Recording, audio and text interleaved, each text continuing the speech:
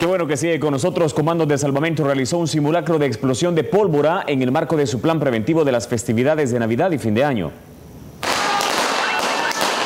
Una explosión de pólvora dejó cinco personas con severas quemaduras, por lo que las unidades de comandos de salvamento se multiplicaron para atender la emergencia.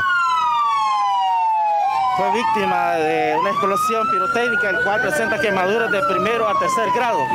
La víctima va estable, pero es necesario trasladar al centro hospitalario, ya que presenta un alto porcentaje de quemaduras a nivel del cuerpo. La mala manipulación de, de lo que son los pirotécnicos han salido el resultado de cinco personas lesionadas. Con el simulacro que año con año desarrolla la Asociación Comandos de Salvamento, la institución anunció la puesta en marcha de su plan de emergencia denominado Yo Respondo Alerta Comandos. 30 filiales a nivel nacional.